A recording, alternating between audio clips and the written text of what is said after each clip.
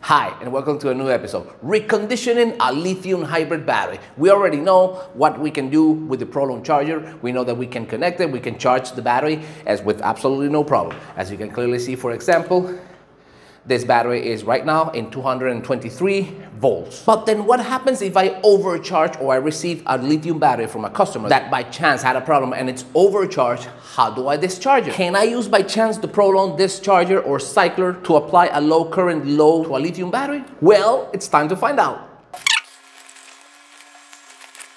First thing I want to do is with my CAT 4 multimeter, I want to find out what is the amount of energy that this battery has.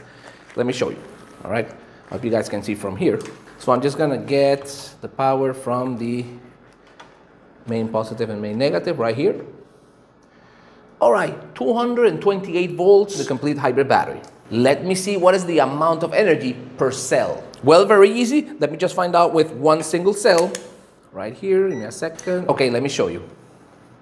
We're just going with the first cell number one in this block, which is uh, hmm, four volts. Let's see in the next one. 4 volts. Let's go to the next one. 4 volts as well. Let's see the last one.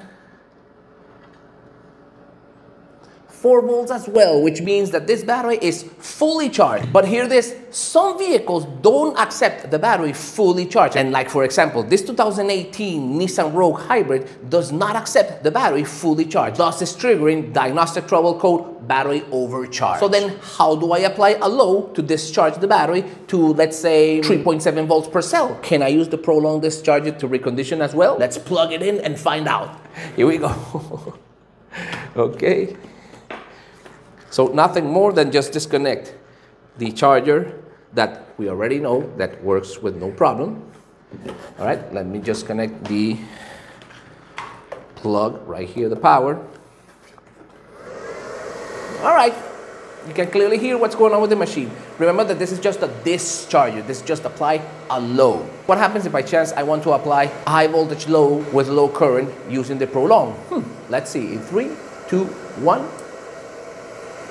Oh, look, 1.6 amps of DC current discharging the high voltage battery. So how long is it gonna take to reach, let's say, 210 volts, which is, we could say, nominal to this battery? A bunch of minutes, a bunch of hours? It doesn't matter. It will depend on the hybrid battery's capacity. But what I can tell you for sure, you can use the Prolong discharger to discharge a lithium battery with absolutely no problem. Look, it's changing now to 224, 223, which means yes, the voltage is going down. We are draining the high voltage battery at a very, very low current. Have no doubt.